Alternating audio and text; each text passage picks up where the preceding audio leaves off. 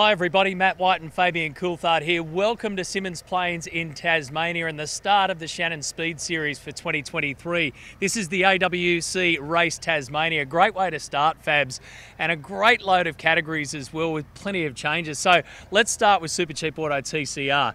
They're back couple of new looks, couple of new drivers, and a world tour coming our way as well. Yeah, I think the world tour is really exciting coming at the end of the year, and you know all the TCR categories now on the same tyre as what they use, so it's all important learning for the season ahead.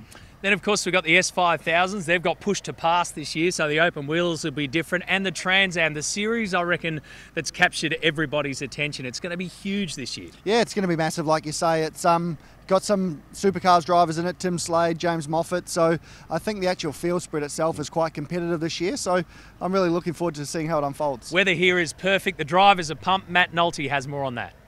Well, Will Brown, how exciting is it to be back here racing this weekend? Yeah, I'm just excited to kick off the year and uh, finally be at a race meet. But uh, it's awesome to be in, uh, you know, the Audi TCR car, the current spec car. So really excited to get out there and see what it's like. What are you expecting from Race Tasmania?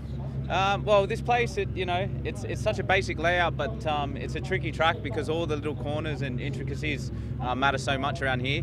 And obviously, we've got a very competitive field. Um, you know, there's probably 10 guys that can win it this weekend. So, um, yeah, I'm just looking forward to getting out there and seeing where we end up. Trans Am is one of the most competitive categories we have now. You've sampled it, you've won already in it. How tough is it going to be this year?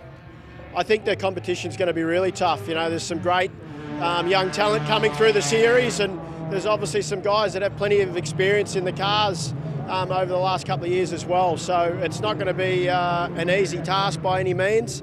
But uh, I feel like I'm up to the challenge of at least being competitive and running at the front of the field, hopefully. So, um, yeah, I'm really looking forward to the challenge. And like I said, hopefully putting together a nice, consistent campaign, and that puts us somewhere near the pointy end at, at the end of the year.